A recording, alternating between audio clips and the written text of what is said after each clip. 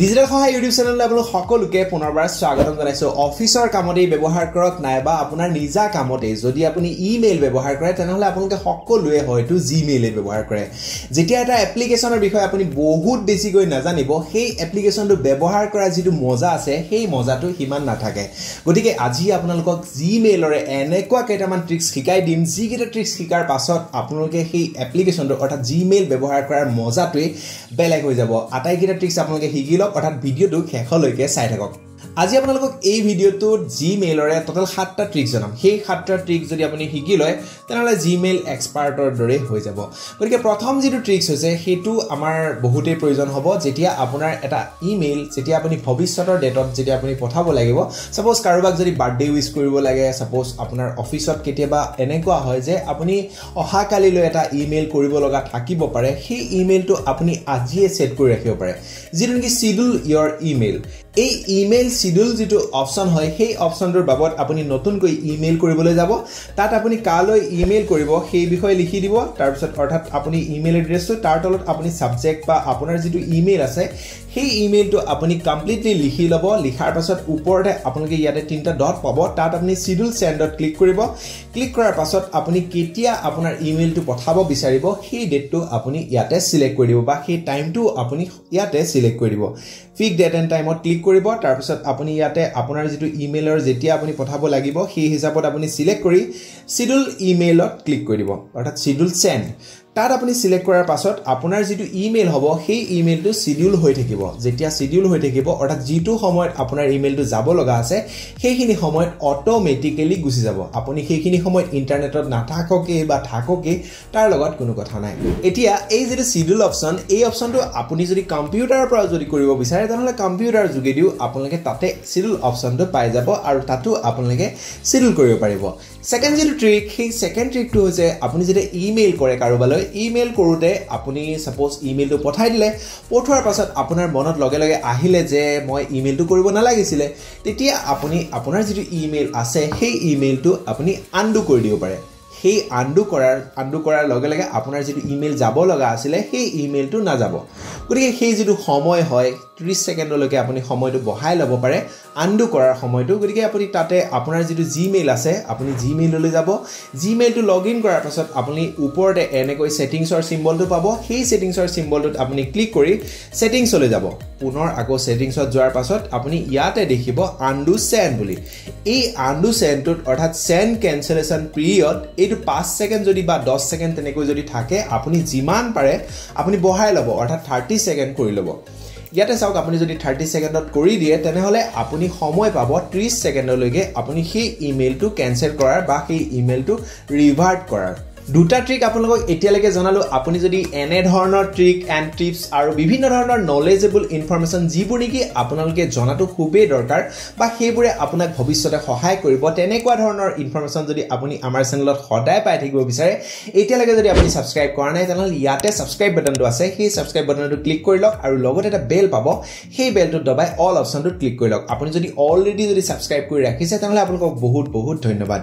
Next যিটো trick সেই ট্ৰিকটো জিমেইলৰ একদম টাগাৰা ট্ৰিক বুলি ক'লোঁ। কাৰণ আপুনি যেতিয়া এটা ইমেইল পঠাব ছাপ'জ মোলৈ এটা ইমেইল পঠাইছে সেই ইমেইলটো কিছু সময়ৰ পাছত মই পঢ়িব নোৱাৰা হৈ যাম। আৰু লগতে কাৰোবাক যদি পঠাব বিচাৰোঁ সেই ইমেইলটো তেনেহ'লে সেই ইমেইলটো তাৰ পৰা নাইকিয়া হৈ যাব। যিটো নেকি কনফিডেঞ্চিয়েল মেইল নাইবা আপুনি ছেল্ফ ৰিষ্ট্ৰাকটিভ এটা ইমেইল বুলিও ক'ব পাৰে।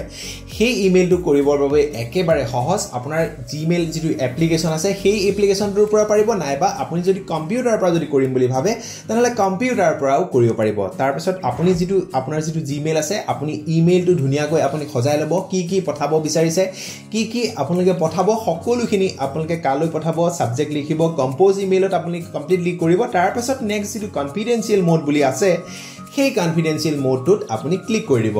ক্লিক কৰাৰ পাছত আপুনি ইয়াতে দেখিব আপোনাৰ যিটো ইমেইল হ'ব সেই ইমেইলটো কিমান সময়লৈকে থাকিব বা কিমান সময়লৈকে সেই ইমেইলটো থাকিব তাৰপিছত সেই ইমেইলটো এক্সপায়াৰ হৈ যাব। নেক্সট এটা কনফিডেঞ্চিয়েল মোডৰে আৰু এটা ছেটিংছ আপোনালোকক জনাই দিওঁ। যিটো নেকি চাওক আপুনি যেতিয়া কাৰোবালৈ ইমেইল এটা কৰিব যিটো নেকি কনফিডেঞ্চিয়েল বেলেগে কেতিয়াও জানিব নালাগিব বা বেলেগে কোনো কাৰণত যাতে চাব নোৱাৰে সেইবাবে আপোনাৰ ইমেইলটো আপুনি লক কৰি দিব পাৰে। এটা অ' টি পিৰ জৰিয়তে। আপুনি চাওক ইয়াতে আকৌ পুনৰ আপুনি কনফিডেঞ্চিয়েল মোডটোতে যাব। তাত গৈ যদি আপুনি যদি তাত যদি এটা ৰিকুৱাৰ্ড পাছক'ড বুলি এটা অপশ্যন আছে সেই ৰিকুৱাৰ্ড পাছক'ড অপশ্যনটোত ক্লিক কৰিব। তাৰ ষ্টেণ্ডাৰ্ডৰ জেগাত আপুনি এছ এম এছ পাছক'ডত ক্লিক কৰিব। ক্লিক কৰাৰ পাছত আপুনি ছেভ কৰি দিব ছেভ কৰাৰ পাছত যেতিয়া আপুনি আপোনাৰ ইমেইলটো যেতিয়া চেণ্ড কৰিব চেণ্ড কৰোঁতে আপুনি এটা নাম্বাৰ দি দিব। অৰ্থাৎ সেই নাম্বাৰটো আপোনাৰো দিব পাৰে নাইবা আপুনি যিজনলৈ ইমেইল এড্ৰেছটো পঠাইছে তেওঁৰো দিব পাৰে। তেতিয়া কি হ'ব যেতিয়া ইমেইলটো খোলা খুলিব যেতিয়া খুলিবলৈ চেষ্টা কৰিব খোলোতে এটা যিটো নাম্বাৰ দিব সেই নাম্বাৰটোলৈ এটা অ' টি পি যাব। সেই অ' টি পিটো যেতিয়া ভেৰিফাই কৰিব তেতিয়াহে সেই ইমেইলটো খোল খাব। নহয়নে বাৰু? এটা বহুতেই ইণ্টাৰেষ্টিং এটা ট্ৰিক্স আৰু তিনিটা এনেকুৱা ধৰণৰে ট্ৰিক্স আছে। গতিকে আপোনালোকক আটাইকেইটা ট্ৰিক্স বাৰু জানিব। তাৰ আগত আপুনি কমেণ্ট কৰি জনাই দিয়ক যে ইয়াৰ ভিতৰত আটাইতকৈ বেছি ভাল লগা ট্ৰিক্স কোনটো? আপোনালোকৰ যিটো কমেণ্ট হয় সেই কমেণ্টটোৰ বাবেও মই বাট চাই ৰ'ম। বা আপোনাৰ যদি ভাল লাগিছে আটাইকেইটা ট্ৰিক্স আপোনাৰ যদি জানি বহুত ভাল লাগিছে তেনেহ'লে আপোনালোকে তলত কমেণ্ট কৰি জনাই দিব। যিমানকেইজনে চাই আছে সকলোৱে এটা কমেণ্ট কৰি দিবলৈ নাপাহৰিব। নেক্সট যিটো ট্ৰিক অৰ্থাৎ পাঁচ নম্বৰ যিটো ট্ৰিক হয় সেই ট্ৰিকটো আপুনি যেতিয়া জিমেইল ব্যৱহাৰ কৰে আপোনাৰ কোনোবা বন্ধুৱে বহুত কিবা কিবি ইমেইল কৰিছে আপোনাৰ ছাপ'জ মই ধৰি লৈছোঁ যে হাজাৰ হাজাৰ ইমেইল আছে সেই ইমেইলৰ মাজত যেতিয়া আপুনি ছাপ'জ দুবছৰৰ আগৰ এটা ইমেইল বিচাৰিব লগা হয় কেনেকৈ বিচাৰিব? আপুনি এনেকৈ এনেকৈ বিচাৰিলেতো বহুত টাইম লাগি যাব। গতিকে আপুনি আপোনাৰ বন্ধুৱে ইমেইল কৰা যিটো ছাবজেক্ট হয় বা আপোনাৰ যদি অলপ মনত আছে কেনেকুৱা ধৰণৰ ইমেইল এটা আহিছিল সেইটো আপুনি যিটো জিমেইল আছে সেই জিমেইলটোত নাইবা আপুনি কম্পিউটাৰতে আপুনি চাৰ্চ কৰি দিব পাৰে। চাৰ্চ কৰিবৰ বাবে আপুনি ইয়াতে চাৰ্চ ইমেইলত যাব। চাৰ্চ ইমেইলত গৈ আপুনি যেনেকুৱা ধৰণৰ ছাবজেক্ট হ'ব পাৰে বা তাৰ যিটো কণ্টেণ্ট বা যিখিনি কথা আছিলে সেইখিনি কেনেকুৱা ধৰণৰ আছিল সেই বিষয়ে আপুনি চাৰ্চ কৰি অতি সহজতে সেই ইমেইলটো বিচাৰি আনিব পাৰে। নেক্সট যিটো ট্ৰিক সেইটো বহুতেই গুৰুত্বপূৰ্ণ। চাওক কেতিয়াবা আপুনি জিমেইল ব্যৱহাৰ নকৰে কিন্তু ভাবে যে কোনোবাই যদি মোক এটা মেছেজ কৰে তেওঁ কিবা এটা এটলিষ্ট ৰিপ্লাই এটা পাওক।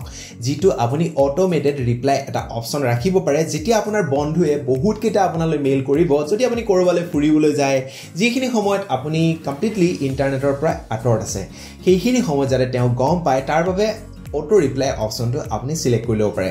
চিলেক্ট কৰিবৰ কাৰণে আপোনাৰ যিটো কম্পিউটাৰ আছে সেই কম্পিউটাৰত আপুনি জিমেইলটো অ'পেন কৰিব। জিমেইলটো অ'পেন কৰাৰ পাছত আপুনি এনেকৈ জেনেৰেল টেব যিটো আছে জেনেৰেল টেবত আপুনি তললৈ যাব। তলত যোৱাৰ পাছত আপুনি দেখা পাব যে ইয়াতে ভেকেশ্যন ৰেচপণ্ডাৰ অন তাত আপুনি ক্লিক কৰাৰ পাছত কেতিয়াৰ পৰা ষ্টাৰ্ট কৰিব বিচাৰিছে সেই ডেটটো চিলেক্ট কৰি দিব। তাৰপিছত চিলেক্ট কৰাৰ পাছত আপুনি ছাবজেক্টটো লিখিব কি ধৰক কি ধৰণৰ এটা ৰিপ্লাই কৰিব যে I am on vacation I am on অমুক I am on Switzerland I am on কিবা থাইলেণ্ড চাইলেণ্ড এনেকুৱা বুলি কিবা কিবি লিখি দিব। তাৰপিছত যিটো মেছেজ হয় সেই মেছেজটো আপুনি দি দিব যেতিয়া আপোনাৰ বন্ধুৱে আপোনালৈ মেছেজ কৰিব তেওঁ এনেকুৱা ধৰণৰ এটা ৰিপ্লাই পাই যাব। সাত নম্বৰ যিটো ট্ৰিক্স এই সাত নম্বৰ ট্ৰিক্সটো কিন্তু কম নহয়। কাৰণ চাওক যেতিয়া আপুনি জিমেইল ব্যৱহাৰ কৰিব সেইখিনি সময়ত আপোনাৰ যদি কেতিয়াবা ইণ্টাৰনেট নাথাকে তথাপিও যদি ইমেইল এটা চাব লগা হয় কেনেকৈ চাব? জিমেইলৰ এটা সুবিধা আছে যিটো নেকি আপুনি অফলাইন মোড কৰি ল'ব পাৰে। যেতিয়া আপুনি ত্ৰিছ দিন পৰ্যন্ত সেই ইমেইলবোৰ অট'মেটিকেলি ডাউনলোড হৈ থাকিব। ডাউনলোড হোৱাৰ পাছত আপোনাক কোনো ধৰণৰ ইণ্টাৰনেট নোহোৱাকৈ সকলোবোৰ ইমেইল চাব পাৰিব। চাওক ইয়াতে ছেটিংছত যাব। ছেটিংছত গৈ আপুনি ইয়াতে এটা অপশ্যন পাব অফলাইন বুলি। সেই অফলাইন অপশ্যনটোত আপুনি ক্লিক কৰিব এনাবল অফলাইন মেইল তাৰপিছত কোনটো আপোনালোকে কিমান দিনলৈকে আপোনালোকে ডাউনলোড কৰিব বিচাৰে সেই সকলোবোৰ আপোনালোকে ইয়াতে চিলেক্ট কৰি দিব। ত্ৰিছ দিনলৈকে নে তাতকৈ আপোনালোকে বেছিকৈ কৰিব বিচাৰে সেই হিচাপত আপুনি লিখি ইয়াতে ডাউনলোড এটাচমেণ্ট অৰ্থাৎ যিবোৰ এটাচমেণ্ট থাকে মানে ছাপ'জ কিবা এটা লগত পঠাই দিছে সেইবোৰ আপোনালোকে ডাউনলোড কৰিব বিচাৰে নেকি সেই অপশ্যনটো চিলেক্ট কৰি এই যিটো keep offline data on my computer এই অপশ্যনটো চিলেক্ট কৰি যদি আপুনি ছেভ কৰি দিয়ে তেনেহ'লে যিমানবোৰ ইমেইল আছে সেই ইমেইলবোৰ আপোনাৰ কম্পিউটাৰতে অফলাইন হিচাপত ছেভ হৈ থাকিব। যেতিয়া আপুনি পিছত চাব বিচাৰিব ইণ্টাৰনেট নথকা সময়তো ধুনীয়াকৈ চাব পাৰিব। আশা কৰিছোঁ জিমেইলৰ এই ট্ৰিক্সকেইটা আপোনাৰ বহুত বেছি ভাল লাগিলে বা যদিও আপোনালোকৰ বেয়া লাগিলে তেনেহ'লে আপোনালোকে তলত কমেণ্ট কৰি জনাই দিব বা যদি আপোনাৰ ভাল লাগিছে সেই বিষয়েও আপুনি কমেণ্ট কৰি জনাই দিবলৈ নাপাহৰিব। আৰু এটা কথা আপোনালোকে সাধাৰণতে সেই কামটো হয়তো বহুতেই কৰে বহুতেই নকৰে। এনেকুৱা ধৰণৰ ট্ৰিক্সবিলাক আপোনালোকে আপোনালোকৰ যিবোৰ বন্ধু বান্ধৱী আছে তেওঁলোকৰ সৈতেও শ্বেয়াৰ কৰিব। যাতে তেওঁলোকেও গম পায় সকলোৱে যাতে ইণ্টাৰনেটৰ জগতখনৰ সৈতে জড়িত হৈ থাকে আৰু লগতে আমাৰ ডিজিটেল সহায়টো ফেমিলিটো যাতে সংলগ্ন হৈ যায়। আপোনালোকে সকলোলৈকে আপোনাৰ হোৱাটছএপ হওক ফেচবুক হওক সকলোতে শ্বেয়াৰ কৰি দিবলৈ নাপাহৰিব। অন্য এটা বেলেগ ভিডিঅ'ত আকৌ আমি লগ পাম। এনেধৰণৰ টিপছ এণ্ড টিপছৰ ভিডিঅ'ৰ সৈতে। আজিলৈ এৰিছোঁ। ধন্যবাদ। জয় অসম